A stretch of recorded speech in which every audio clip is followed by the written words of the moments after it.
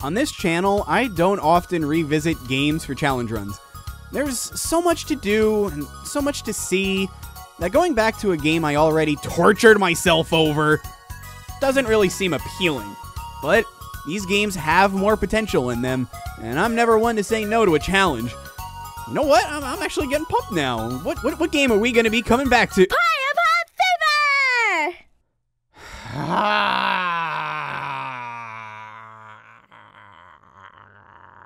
What else can even be done with Puyo Pop Fever? I already cleared this without Fever Mode, and I mean, Fever Mode is the whole point of the game. What else is left? Win by not dealing damage? Exactly. Obviously, we can't do that. You win Puyo by dealing damage. And winning with Fever Mode isn't hard, seeing how easy it is to set off a big chain and get Fever Mode. Getting into Fever Mode itself is easy when you know what what to look out for. Oh, Dog. Hmm. Humor me for a minute, but what if we only did damage with Fever Mode? As in, the only time we can attack the opponent is by using Fever. The only time I can set off a chain is if they've already attacked, and I can't deal any damage to them unless I'm in Fever Mode. Yeah, yeah, yeah, this is going somewhere. If, if they send me garbage and I offset, that doesn't do damage to them, that just builds up my fever mode. Yeah. Yeah. Are we ready? All right. Puyo Pop Fever. I'm gonna beat you at your own game. Mm-hmm. Let's see if we can clear Puyo Pop Fever GameCube Edition featuring this English dub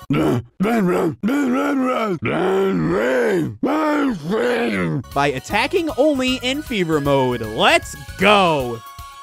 We'll be doing Hara Hara Hard for this one. I'm so Unlike last cool. time, I, I don't really see the need to do the lower difficulties.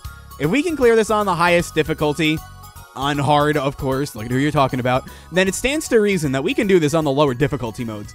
This does mean that there are some characters who I don't get to play the voice clips for, but How uh, rude. we still fight you know who, so don't worry.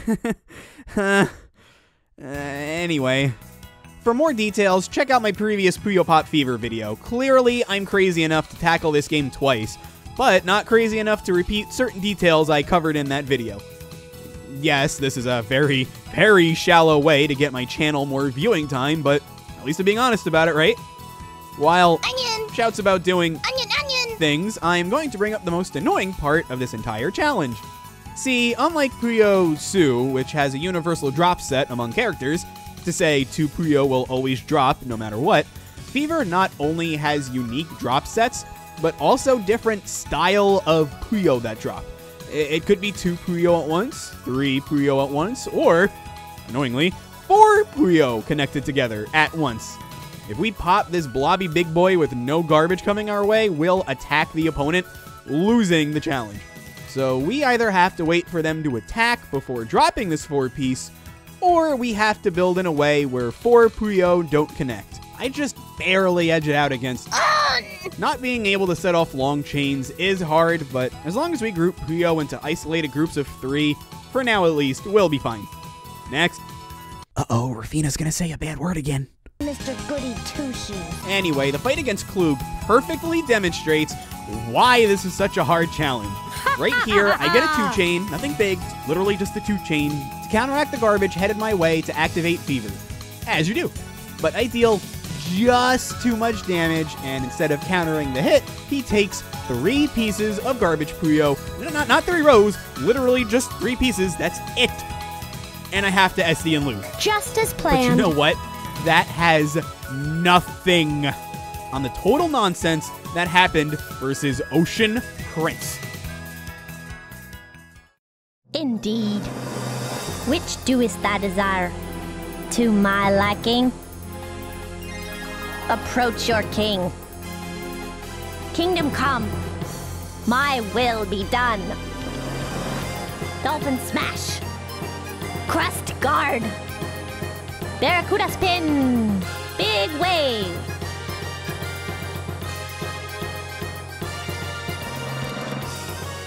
Ow! How rude. Once I make it back to Ocean Prince, he's still really hard. His chains aren't that big, but they're big enough. Something similar happened in the last video where the chains were big enough and they were built quickly enough, so I couldn't build a chain big enough to counter without entering fever mode. Here, it's kind of the opposite problem. It happens quickly enough to where I don't have enough Puyo lined up to keep popping, and thus I lose. I have to take a hit, hope set hit doesn't hit too hard, then hope the field that I set has enough Puyo to pop when Ocean Prince strikes next. Chivalry is dead. Yeah, well, I'm not. so, you see how stage 3 was that hard? Quite. Stage 4 being next, you'd think it'd be harder, yeah? By all means. Believe it or not, I actually did this on my first try. Oh! I got oh! fever mode started pretty early, but Tarataru was actually able to pop enough Puyo to enter into fever mode himself. Which, because he popped so many singles and I got good chains in fever, my fever time was really high, and I got into fever mode with a 26 second timer. When I'm used to 15 for the sake of the challenge run, 26 is a lot of time. And then afterwards, he immediately lost. Anticlimactic, but honestly, it was kind of funny. Stage 6 is where things get. What? What? You can't count? Six comes after four guys. Pretty common knowledge. Don't they teach you this stuff? Actually, doesn't Puyo Champions literally teach you how to count? The game's in English now. You can learn that six comes after four. totally. yeah. This isn't. This isn't. Four, five, six. It's over for you. Okay, fine. You know what's coming. You, right? You know what's coming. You. So, you all remember from last time when I got pretty darn heated talking about Yu, the cheerful ghost from last time? Her being cheerful is relevant to my rage because she stacks her Puyo randomly, gets a lot of one chains, which means I had to hear Indeed. over and over, and it took me well over an hour and a half to beat her, and she drove me crazy, and I really dread having to listen to. A bunch of times, but you know, I'm the one who decided to come back to this game and this English dub. Do your worst, Yu. I'm ready for it. I,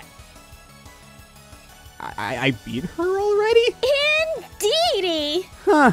Oh well. And you know, that stupid bird from last time goes down without a fight, too. Oh, I thought this was because, starting here, five different color Puyo drop instead of four, making it more likely for the Puyo piece that you need to pop. Which, I mean, isn't true normally, but it worked so well here, I figured, hey, maybe that was the case, right? Uh, going into the end game, I was not expecting much, especially with how easy Yu was, but. Miss Accord! Wow! Unlike last time, she puts up a really good fight. So sorry. The most frightening thing here is how random her AI is. Sometimes she's super aggressive, and other times she's very passive, waiting to set off her chain. You have to adapt to her AI because if you get too reckless, you deal damage outside of fever mode and you have to start over. If you're too defensive, then, well, you die, Horrible. and your only option at that point is to start over. She never got to fever mode, but she didn't need to. She was pulling out some pretty impressive looking chains. But in the end, she's still beatable and not nearly as difficult as Popoi.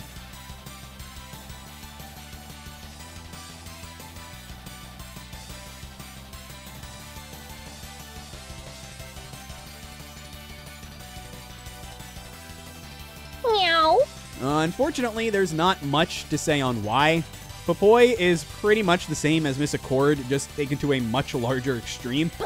And since Miss. Accord can be beaten, it stands to reason that Popoi folds much in the same way. Uh, no carbuncle this time, devious monster that he is. But on the bright side, hey, it is possible to clear Puyo Pop Fever by only dealing damage in Fever mode. I did it! Sweet victory is mine! Some final notes before we close out the video for good. First, I was complaining about the controls in the last video, and while most of my complaints still stand, I mentioned that Puyo sometimes rotated the wrong way.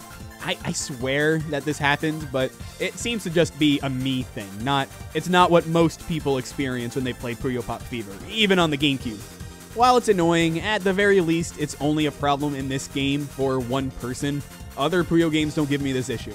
Second, believe it or not, I do see myself coming back to this game for another challenge run somewhere down the line. More to come! I kind of want to try tackling a different Puyo game at some point, but there's just something about Fever that really sticks out to me.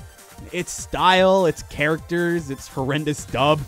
I know it controls poorly, and there are many better versions of Puyo out there, but I don't know. I just really dig Fever for some reason. I don't like it, but it resonates with me, you know?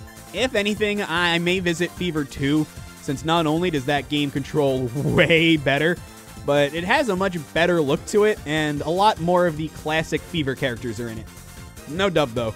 I mean, come on, where else am I going to use these voice clips? Especially if there's no dub. Indeed. And last but not least, I'm sure you've noticed what's been going on in the background. I figured it'd be fun and really stressful to put the game on easy mode and go through the very first battle and see if you could clear that by only doing damage and fever. Turns out I did both of my challenge runs at once. I didn't deal damage outside of fever, and I didn't even enter fever mode at all. If I play much more of this game, I'm gonna get a fever. Good morning. Have you got a fever?